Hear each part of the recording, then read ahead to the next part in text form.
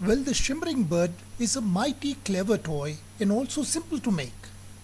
First, you need is a thick card sheet and on this card sheet you stick two identical birds as shown in the picture.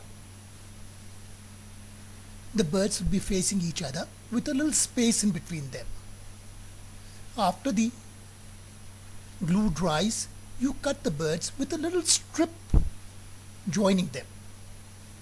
Now fold this model in half and apply glue on the white side.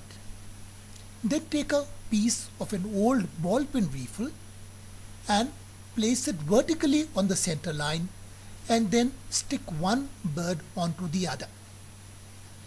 Once the glue dries, weave a thread through the refill and make two loops at the ends. If you keep the thread taut and leave the bird, it will come down in very funny short jerks. Now this motion is very intriguing. If you put a small clip and weigh down the bird, its fall will become slower. The bird, the woodpecker, would keep falling in small short jerks.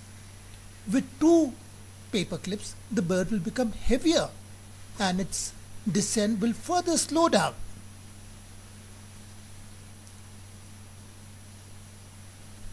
Here you can see this little child playing with this very amazing toy.